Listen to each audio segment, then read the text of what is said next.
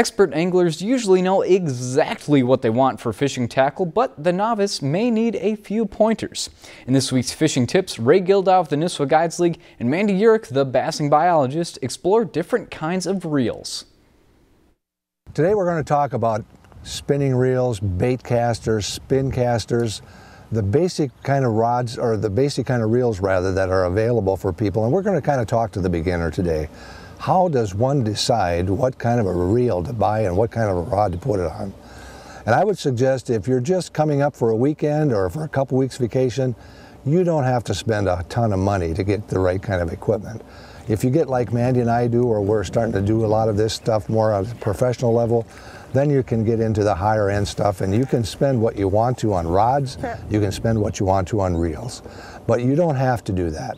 In fact, one of my oldest customers, who's 88 years old, still fishes with an iron rod, black line, and an old bait casting reel, and he's phenomenal at catching fish.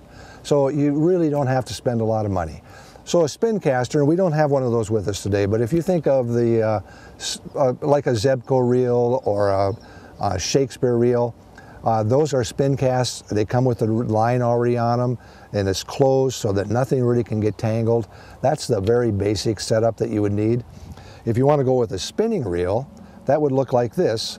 And this is uh, with a reversible handle on it, so you can put a handle on either side and you can cast if you're left-handed or right-handed and you can spend as much as $25 you can spend as much as eight nine hundred dollars on these if you want to but starting out you don't have to spend that kind of money Mandy has a bait caster. Mandy, maybe you want to talk a little bit about that. The bait casters, unlike the spinning reels, are not adjustable for the handles. So if you reel left-handed or reel right-handed, you need to buy them and purchase them with the appropriate hand. Also, when you look at the side of them, down on the below, you'll see different numbers. You'll see a, a 7.0 or a 5.0 or a 6.0. And that's actually talking about the gear ratio, and it refers to every time you turn that reel one time, it refers to how many times that inner spool is going. So the higher the number it is, the faster the reel is going based on one revolution of that reel.